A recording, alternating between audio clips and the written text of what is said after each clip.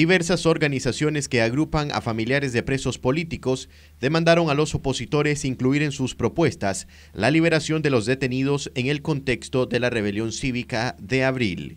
Que ante el estado de indefensión que se encrudece cada día más en Nicaragua y que somos nosotras las víctimas directas de esta dictadura, organizadas y no organizadas, quienes sufrimos la parte más cruel de esta represión.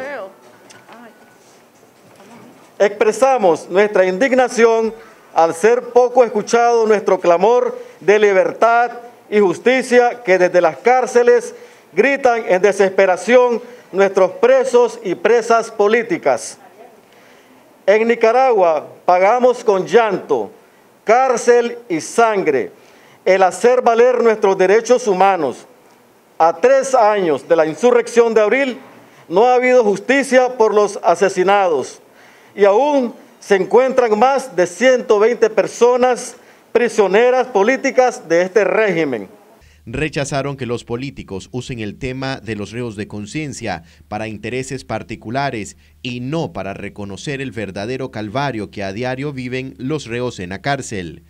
No queremos, ¿verdad?, discurso de los precandidatos diciendo de que los presos políticos pueden esperar, de que lo primer demanda que van a hacer ellos cuando lleguen a ganar una posible candidatura es la liberación de los presos. Esto no es posible. La liberación de nuestros presos tiene que ser inmediata, porque libertad para nuestros secuestrados políticos inmediata. Libertad, libertad. Hacemos un a toda Nicaragua que no nos dejen sola, que sigamos en resistencia cívica y pacífica. Desde hoy nosotros exigimos, demandamos la libertad de los presos políticos hasta en mayo. Por favor, y en la agenda tenemos hacer una reunión con todos los precandidatos, con las organizaciones presentes. Eso está en nuestra agenda como organizaciones. Marcos Medina, Noticias 12.